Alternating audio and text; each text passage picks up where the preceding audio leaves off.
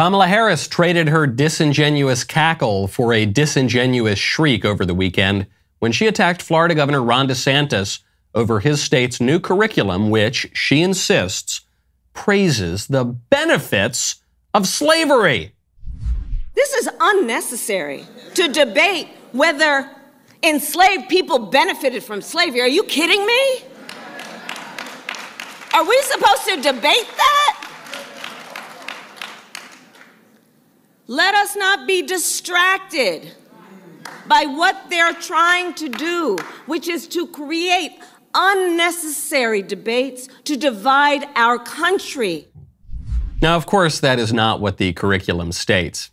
We've got the text that the new Florida standards state, quote, instructional materials shall include the vital contributions of African Americans to build and strengthen American society and celebrate the inspirational stories of African Americans who prospered, even in the most difficult circumstances.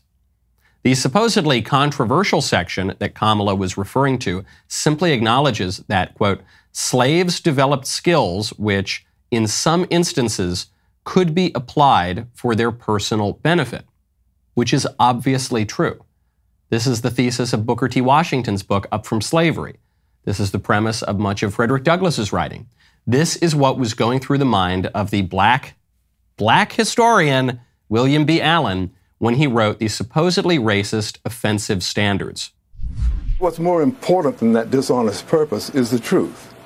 And this curriculum is devoted to telling the truth, whereas Kamala Harris has retailed a lie. Now, it may only have been a falsehood the first time she stated it, but when you repeat a falsehood, it becomes a lie. This curriculum is about is having people who live the experience, who live the history, tell their stories. And nothing is more important than that we never, ever erase the stories that the people who live the stories tell. No one has a right to interpret before first understanding the stories as the people who lived them understood them themselves. The biggest problem with Kamala's attack is not the dishonesty. That's par for the course. The problem is the claim that she's attacking is true. It's a deep and enduring truth. Slaves benefited from enduring hardship, just as everyone can benefit from enduring hardship. And the fashionable insistence that suffering is always bad is making us a nation that is weak, confused, and depressed because we can't make sense of human nature and the fact of a fallen world. On that chipper note, I'm Michael Knowles. This is The Michael Knowles Show.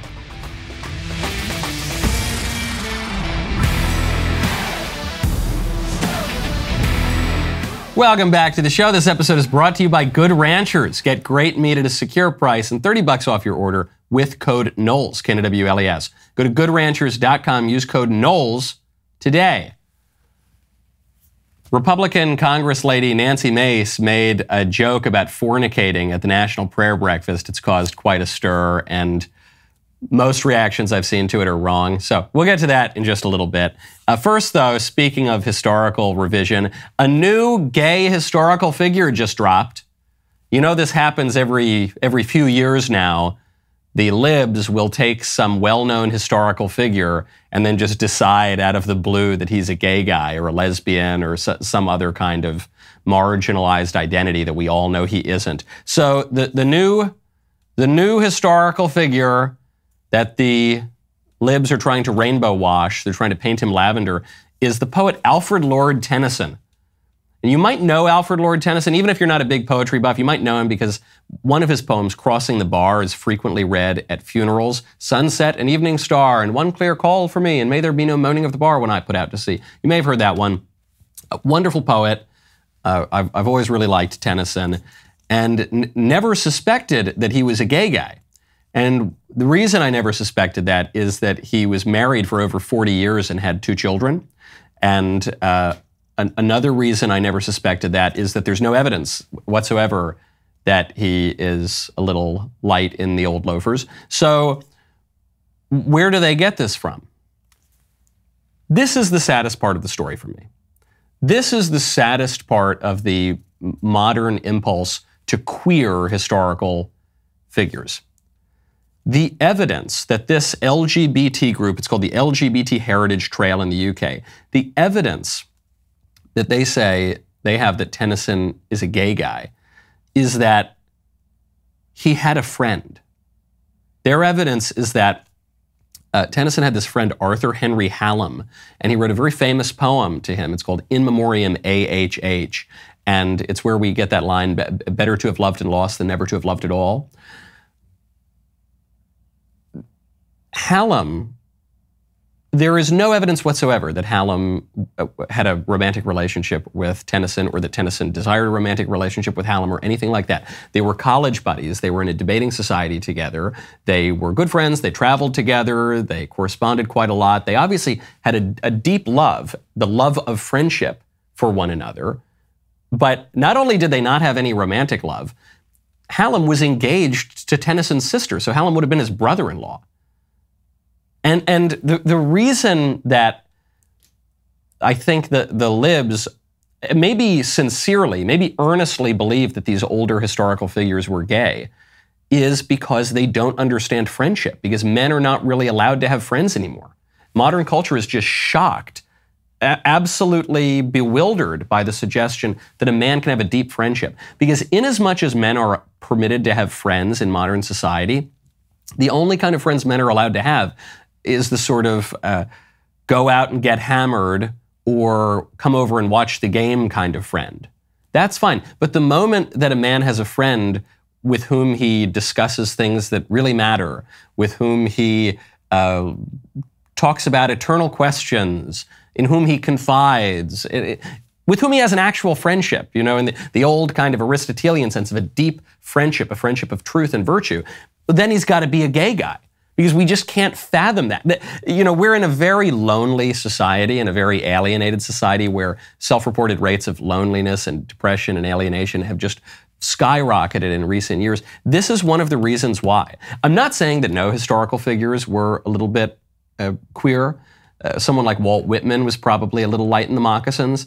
But when you go to someone like Tennyson, and there's just no evidence of it whatsoever, other than the fact that he had a friend. that is an indictment of our society. And I think it lies at the heart of a lot of the sexual confusion and a lot of the political dysfunction. The fact that people don't have true friends anymore. We have friends of convenience, we have friends of, of work, friends by accident. You know, you work with someone and maybe you go get a drink with them afterward. You have friends of shared interests, like you both like Spider Man or something, so you connect over that. But proper friendship, you know, friendship of the good, hard to find, especially in a society that's so relativistic and liberal that we deny the very existence of the good. And so now we look back and we take really good, strong, traditional conservative poets and say that they were little, a little bit uh, eccentric. I don't think so. I don't think so, man. When you want to be sure of something, none of this confusion. When you want to be sure of something, like a good dinner, you got to check out Good Ranchers. Right now, go to goodranchers.com, use promo code Knowles. You know that I love anything made with top of the line quality. For meat, that's Good Ranchers. The only thing missing is a pork box. Okay, I've said it for a long time. Well, if you ask for it, they deliver. Good Ranchers has just launched their prime pork, 100% American pork that is steakhouse quality. This new pork box comes with bone in, which is my favorite, and boneless pork chops, sausage, smoked brats, and more. Plus, right now you will get 30 bucks off with code Knowles at goodranchers.com. On their site, you can explore their all-American cuts of prime pork, prime beef, better than organic chicken options. If you've tried their beef and chicken before, you know how amazing it is. I have said this for a long time. I fear that I haven't conveyed it. There is no service on the market that gets you anywhere near the quality of Good Ranchers, and Good Ranchers has the most competitive prices around. It's one of the few things I missed when I was in Hungary. Head on over right now. Go to goodranchers.com, use code Knowles, 30 bucks off any box. That is promo code Knowles, K-N-W-L-E-S, at goodranchers.com. Goodranchers.com, American meat delivered. Speaking of sexual confusion, Nancy Mace, Republican Congress lady, she's a liberal Republican, but I, I kind of like her. She's she's been on the right side of at least a handful of issues, and She's clearly a little bit lost and trying to figure things out. And that's true of a lot of people in modern culture. Well, Nancy Mace really stepped in it because she showed up to the National Prayer Breakfast and decided to open her remarks with a joke about how she almost fornicated before showing up to the event another year, another standing room only event. And when I woke up this morning at seven, I, I, was getting picked up at 7:45. Patrick, my fiance, tried to pull me by my waist over this morning in bed, and I was like, "No, baby, we don't got time for that this morning. Uh, I got to get to the prayer breakfast, and I got to be on time." And a little TMI, but um, I He'll, he can wait. He's got, we got, I'll see him later tonight. Um, but I was here early today. It's just so cringe. And this is the defining feature of Nancy Mace's political persona.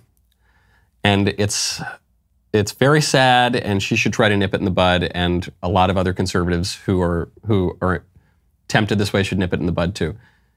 It's not the sex stuff. It's that she always wants to be the cool conservative. She's like the mom on Mean Girls. She want, I'm not a regular mom, I'm a cool mom. I'm not a regular conservative. I'm a cool conservative. I'm not a regular Christian. You know, I'm a cool Christian. I almost fornicated with a man who's not my husband this morning, but don't worry, I'm going to do it later tonight. anyway, let's talk about God and prayer. Ah, man, good grief, lady. Just read the room. Read the room and recognize that there are more important things in life than being considered cool by the liberals who hate you. Who hate you, no matter how irreverent you are, no matter how much you try to distinguish yourself from your political party and the conservatives and your supporters, they will never like you. You're a Republican, okay?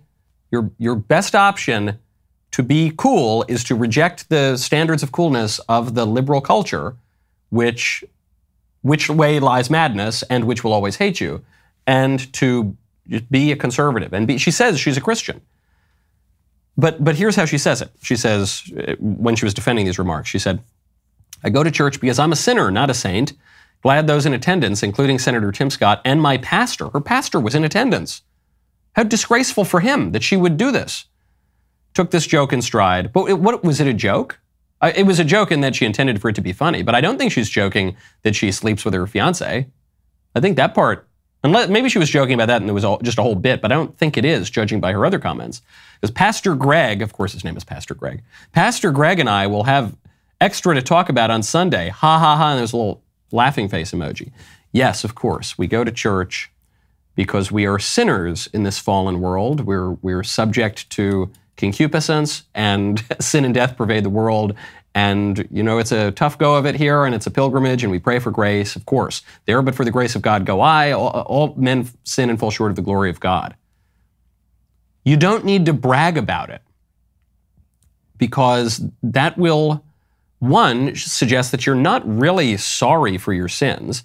You haven't really repented. You're just brazenly uh, continuing in a state of grave mortal sin, which again describes a lot of the world. The difference is you're at least putatively a Christian at a Christian prayer breakfast.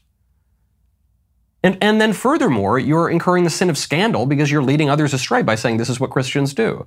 And you're, you're implicating your pastor in that sin also. I, I recognize it's a very messed up culture and catechesis is really weak these days and people don't really know how they're supposed to behave. I have a great deal of sympathy and empathy even for all of that. But this is a real indictment uh, of this lady's pastor, of whatever ecclesial community Pastor Greg seems to be leading. It doesn't seem to be forming souls all that well if these are the kind of jokes that his flock make at, at national prayer breakfasts. And it raises the question why was she invited to speak? What ah man what are these people going after it's the conservatives and the the nominal christians in our culture what are they going after do they do they do they want to establish a big tent and accommodate themselves to the way of the world and the way of the decadent, degraded liberal culture to try to win some elections or fill up the pews or something like that? Or do they want to speak the truth and speak the truth come what may because to, to win some kind of nominal victory by adopting all of your opponent's beliefs and premises and behaviors is no victory at all. It's a Pyrrhic victory, it's a concession, it's a surrender, it's a loss. It's like that good old line, which I'll attribute to Fulton Sheen. A few different people uh, lay claim to this line. If you marry yourself to the spirit of the age, you'll find yourself a widow in the next. If you, if you wed yourself to the spirit of liberalism as a conservative, then you haven't won anything. You're just you're just you're a big lib. And this is of course especially true in the case if you're a Christian and you say I'm a Christian, but I just do all the things that the world tell me to do, and I just try to seem cool by the standards of this fallen world, which is under the rule of, of the devil himself. then that's not a victory, man. That's a loss. Then what does it even mean?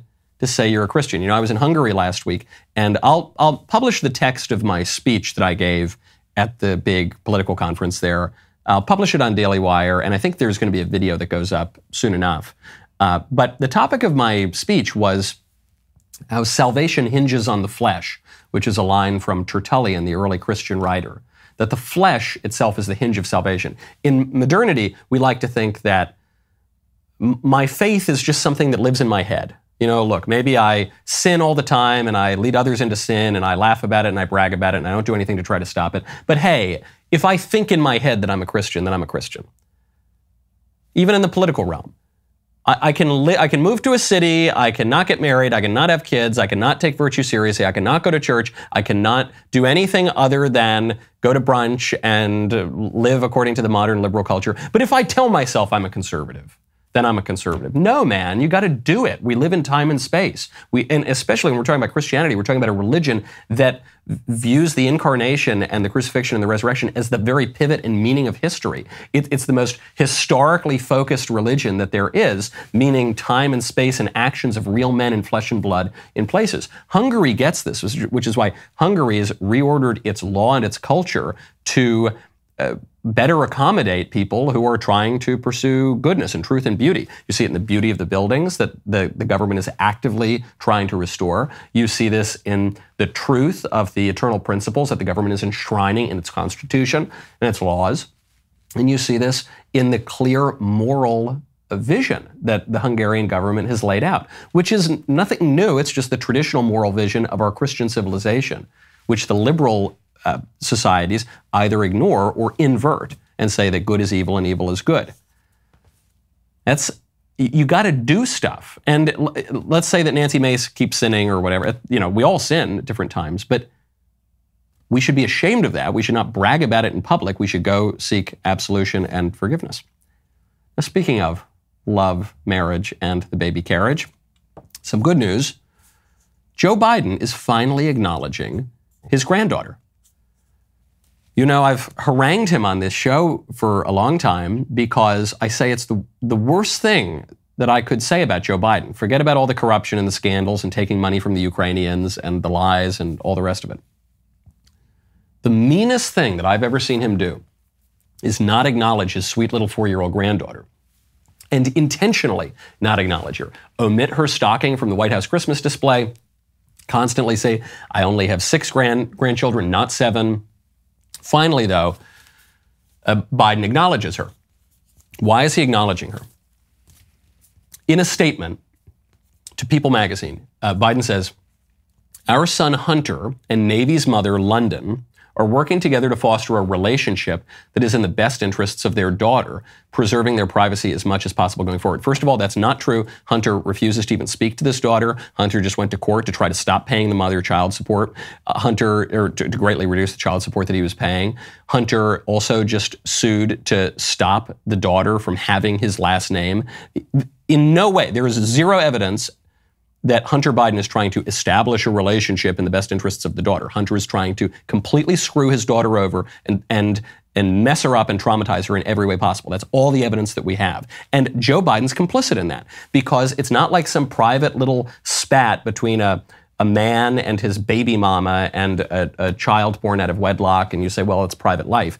We're talking about the granddaughter of the President of the United States. Whether they want to or not, this is a public matter that they have to address. The little girl is going to know that her daddy, that her granddaddy rather, is the president of the United States, and it's going to traumatize her if her granddaddy is so ashamed of her that he won't acknowledge her existence. And he's he's continued it that way for four years now. The girl's almost four years old.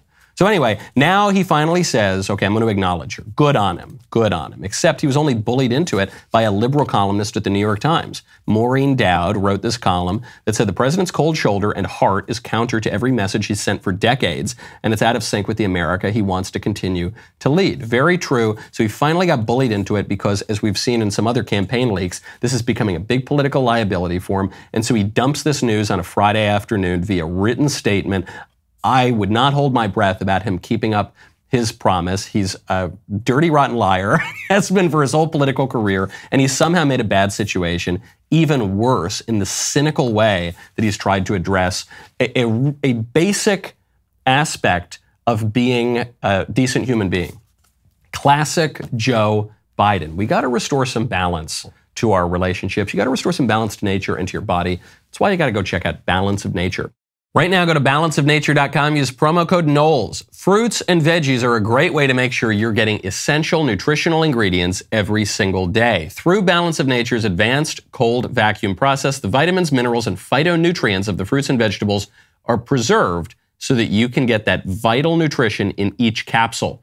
Balance of Nature is a whole food supplement with no additives, fillers, extracts, synthetics, pesticides, or added sugar. Pure fruits and veggies are the only things they put in their capsules. Balance of Nature sent a bunch of their products down to the studio for our team to try.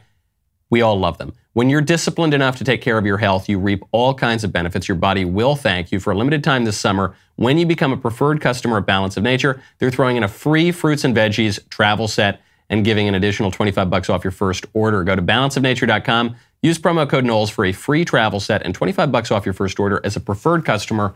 That's balanceofnature.com promo code KNOWLES. Speaking of the president, Joe Biden, there's a new poll out from Monmouth. Almost half of Republicans think that Donald Trump is the strongest candidate to take on Joe Biden. That does not mean that Trump is doing really, really well in the polls, though he obviously is. This is a different question. Almost half of Republicans think that Trump is the strongest candidate to take on Biden. The argument thus far for a DeSantis or a Nikki Haley or a Tim Scott or Mike Pence or Vivek Ramaswamy even is, well, look, the base likes Trump, but he can't win the general. Everyone knows he can't win the general, but but unfortunately, the way the primary process is set up, the the far right candidate sometimes can win the primary and then will lose the general because a more moderate candidate would do better in the general. Now, we covered on the last show moderate candidates as the GOP nominee have a much worse track record than the conservative GOP nominees for president. Much worse. Go back to the last show. I won't, I won't go through the litany again. But going back to Eisenhower, after Eisenhower, you see a, a much stronger showing from the conservative nominees than from the John McCain's and the Mitt Romneys. But furthermore, this is now another knock on the DeSantis campaign because the DeSantis campaign can at least say, look, maybe people don't feel as passionately about me as they do about Donald Trump, but everyone knows I'm more likely to beat Joe Biden than Trump is. A poll like this says no. The, the DeSantis campaign has not convinced Republicans of that. So you got 45% of GOP voters view Trump as definitely the best candidate to beat Biden. In addition, 24% on top of that, say he is probably the strongest candidate to defeat, to face Biden. So this is a huge number. Only 13% of Republicans said definitely another candidate, and only 18% said another candidate would probably be stronger than Trump. So you add those numbers up, all of a sudden, you're at 69% say Trump is definitely or probably the strongest candidate. And you get down here, 31% say that some other candidate is definitely are probably the strongest. It's it's something that the talking class, the punditariat, the GOP establishment, but even even the conservative establishment, which very often lives in Washington D.C. or New York or or even Los Angeles, and very often occupy elite circles, uh, just the nature of the business. Uh, they don't seem to recognize very often. Trump changes the calculus. It's not just a matter of policy positions. It's not just a matter of going to Ballotopedia and seeing where the candidates stand on the issues. He's just a different kind of animal. he talks different, he walks different, he's got a different background, and he appeals to different people. And he he turns off certain voters who the more clubbable kind of Republicans sometimes can impress, but he also attracts voters that the more clubbable Republicans have, have never been able to impress or haven't been able to impress since Ronald Reagan. So, what does this mean for the rest of the field? Well, the rest of the field is going to keep on fighting, including the number two guy right now, Ron DeSantis, who just came out to attack the clubbable Republicans.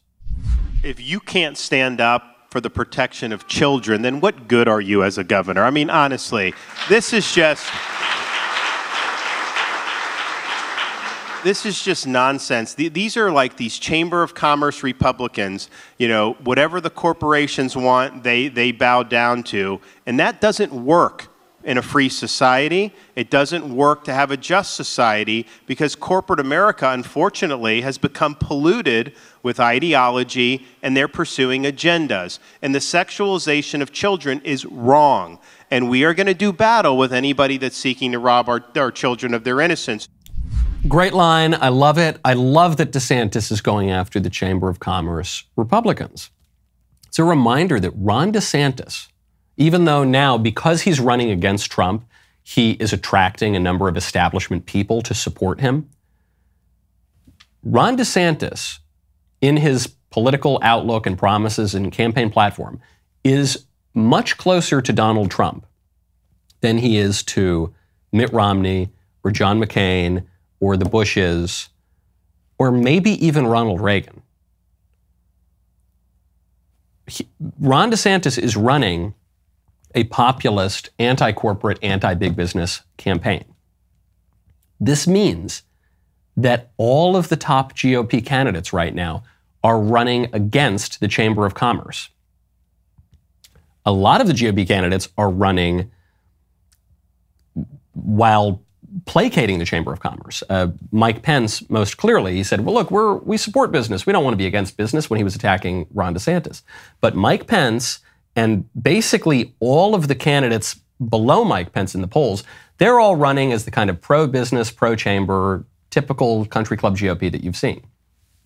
The top three candidates right now, Trump, DeSantis, and Vivek Ramaswamy, are all actively, explicitly running against the Chamber of Commerce and big business. That is a major shift in the GOP in my lifetime, and that's a shift for the better because we're recognizing that there's more, more to life than just ticking up the GDP numbers. And a strong economy is good, but a strong economy is not the be all and end all, because if you make that the absolute end of politics, as many in the establishment and libertarian camp had done for the 90s and the 2000s and into the 20 teens, then we're no different than the mammon worshiping materialists that we mock on the left and that we're fighting against. That you want you want a good economy. That's a very valuable thing in society, but you don't want to put the cart before the horse. You want the good economy in service of a good country. And if the corporations are undermining the values and the behaviors and the traditions and the virtues of your country, well, then they need to be brought into line. We need to recognize that the market exists for us to have a good society. Our society does not exist to serve the market. Now, what about that third candidate, Vivek Ramaswamy? Vivek is a little different from Trump and DeSantis in that Vivek is trying to cut a middle ground between the new, more nationalist, more populist, anti corporate uh, spirit of the GOP. Obviously, Vivek wrote a book called Woke Inc. and has, is regularly described as the anti woke businessman. So he's, he's got that part going for him. But he's also trying to preserve some of the classically liberal libertarian tendencies of the GOP in the last 10 to 30 years.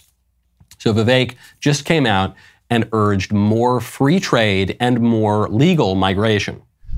The CPTPP, I think we should re-enter it.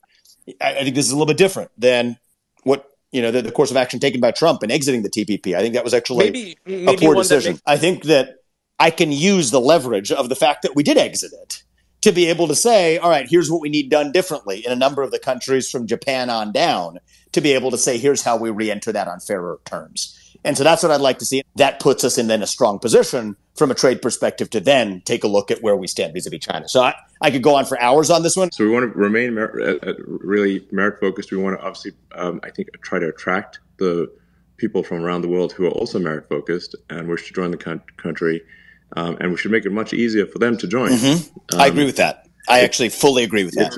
And yeah. that's one of the things where I think the Republican Party needs to define where we actually stand. There is an anti-legal immigration current that you know, which is which which, I, which I'm going to be on the debate stage in a month, and this yeah. is going to be something that if anybody has uh, any any qualms with this, uh, you know, I think I'm going to have a real problem with that because merit-based immigration yeah. is one of the fixes to economic growth in this country.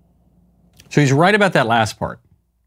Uh, mass migration, mass legal migration, has been in service of keeping the economy afloat because people aren't having kids anymore. And that's true not just in America, it's true throughout the West. But that's still a problem.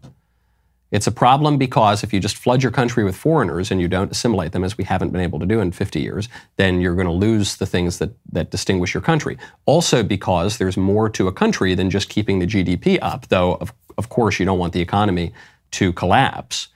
Uh, but this is this is an issue that probably won't come up on the debate stage because none of the candidates, as far as I can tell, support a reduction in legal migration. They all say we want to end illegal immigration, but we, we want we want a lot of legal immigration. Trump, Trump himself, who's the most anti-immigrant major candidate in my lifetime, he said we want more legal immigration than ever. And this is a problem, one, because I think it it not only threatens the national identity, and cultural coherence and the, the notion that we're actually a country defined by borders with a, a real citizenry that's distinct from foreigners. But two, because the, the majority of Americans want to drastically reduce immigration. They don't usually say it in those terms. They won't say, I'm anti legal immigrant. If you just ask them that question, do you want more or less legal immigration? They'll often say more or keep it the same.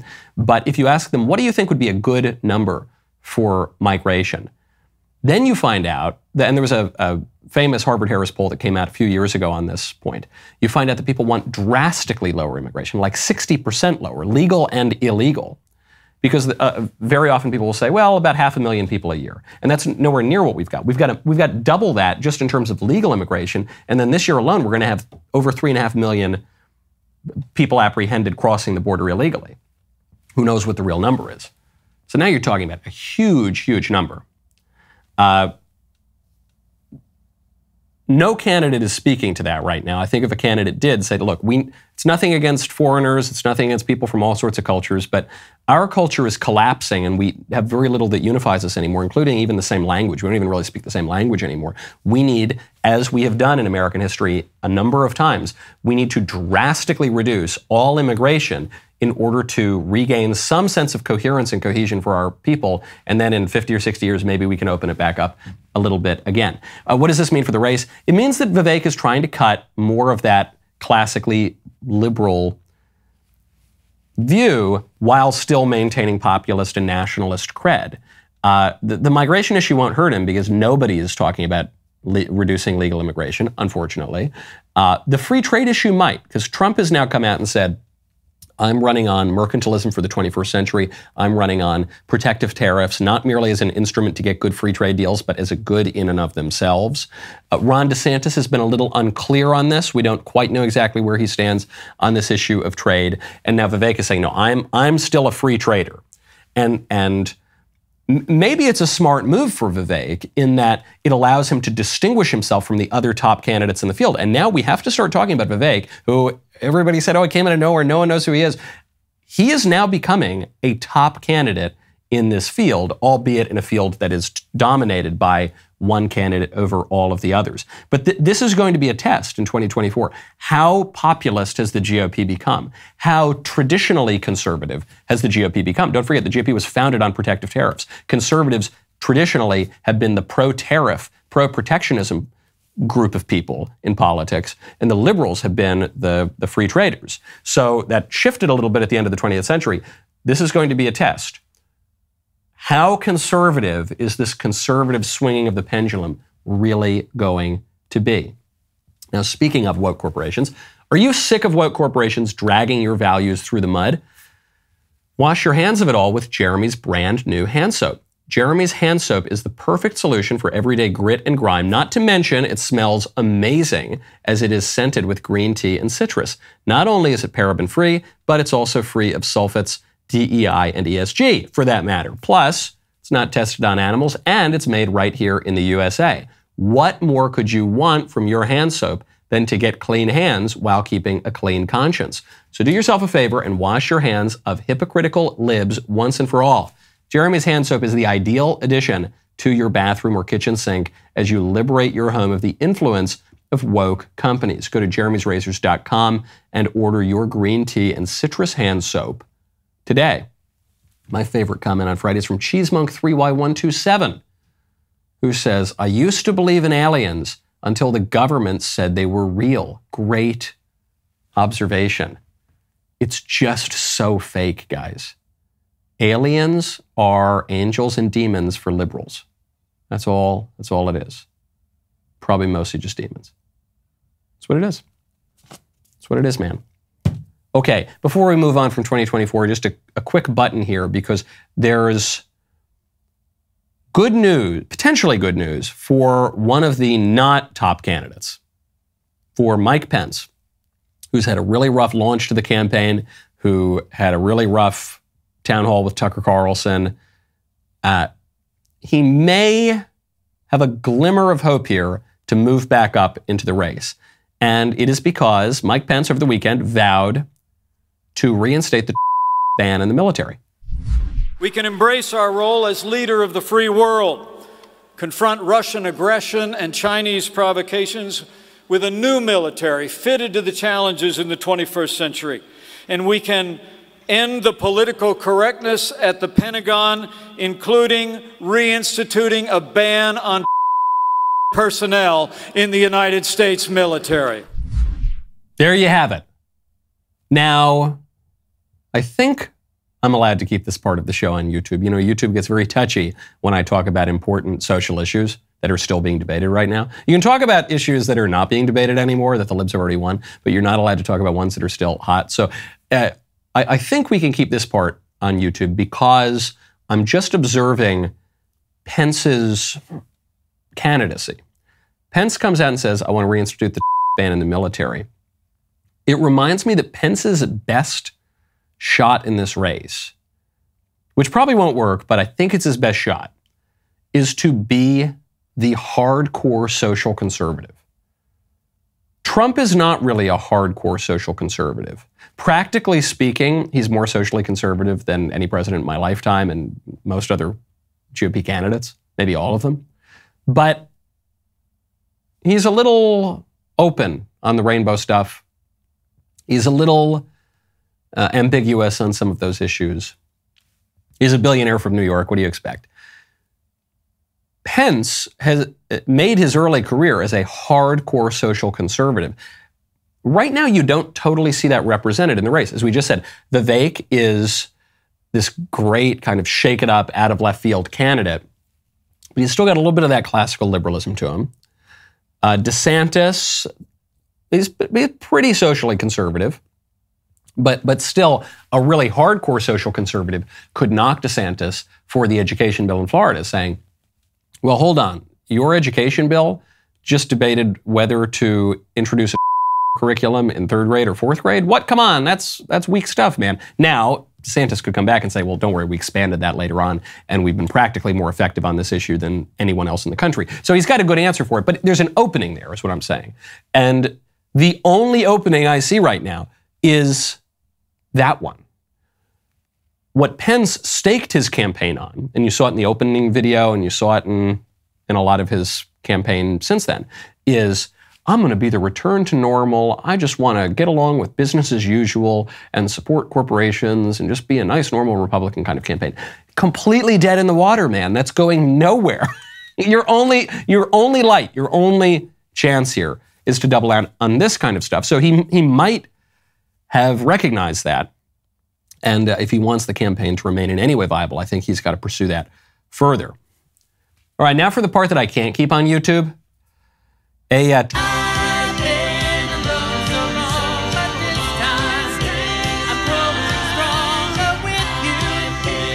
Today is Music Monday, baby. And it's Mailbag Monday, a little bit of mailbag, because on Friday, back when I was still in Hungary, I didn't get to as much of the mailbag as I wanted. There are a few questions. I didn't get to any of the written mailbag questions. So we're going to get to a few of them. We're going to get my iPad. Whenever Professor Jacob gets me my iPad, where is it?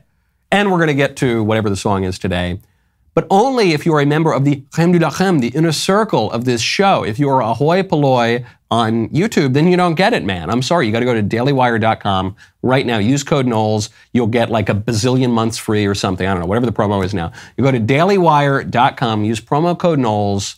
They're telling me you will get two months free on all annual plans, and I will get to chat with you momentarily.